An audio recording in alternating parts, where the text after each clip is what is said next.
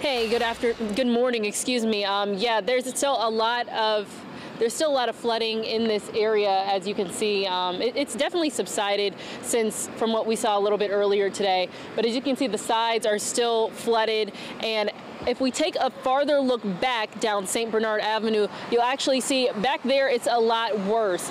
Now that's over by the uh, Circle Food Store, and as you can tell, there's some cars that look like they're stalled in that water. One lady just drove up, and she said that her car now has water in it. What should I do? Trying to figure out what to do. But you know, when you see water like that, you really shouldn't be driving through it at all. We have seen some uh, bigger trucks, some of these bigger trucks, these semis that have been kind of rolling through there, pushing water into neighboring houses and other businesses. So that's something you also don't want to do. Now I'm joined by Marcus right here. He has been telling people to turn around, go the other way, don't drive through it, warning cars uh, and other vehicles not to drive through this because they can get stalled and that water can get into their into their cars. And Marcus, talk to me a little bit about why you wanted to do that, why you wanted to help. Well, I stay down the street. I've been renovating a house for the last 10 months, and uh, this is the first time I've seen flooding like this in this area.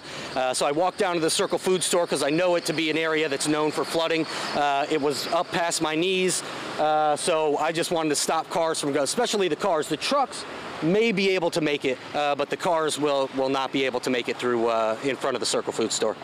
And just kind of like what we saw just a few minutes ago with, you know, that woman's car being overtaken yeah. by water. Yeah, I tried to stop her. You know, she uh, she didn't listen. I think she was a little bit older, uh, so she may not have known what was going on. But uh, yeah, she, her car's got uh, water in it now, and uh, you know, this is uh, this is something that the city's known for. I heard they turn turn the pumps off.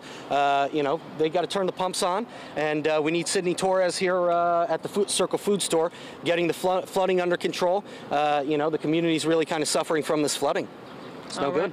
Okay, and, and, and we do believe the pumps have been turned on, kind of receding, which is some okay, of good. the recession that we're seeing. Yeah, it's definitely uh, but going down. But where you where you live, how bad was it over there? Two blocks over? Uh, not too bad. Uh, I mean, we had about uh, six inches of water in front of my house uh, on the stoop, um, and then everyone moved their cars to kind of higher ground. Um, but you know, I think maybe uh, at its highest over by where it typically drains down at, mm -hmm. about a foot, about a foot of water. All right. All right. Well, thank you so much, Marcus. Yeah. And I'm sure drivers do appreciate you sure. you warning them uh, Go back. to turn back around. Uh, but as I said, you can tell that there is still some flooding. It looks like it's a lot worse farther back. Um, and it's just a good idea if you see water like this just just don't drive through it just turn around try to find a different way to get around and if you don't have to be out in this today don't go out in this reporting live on st bernard avenue megan key eyewitness news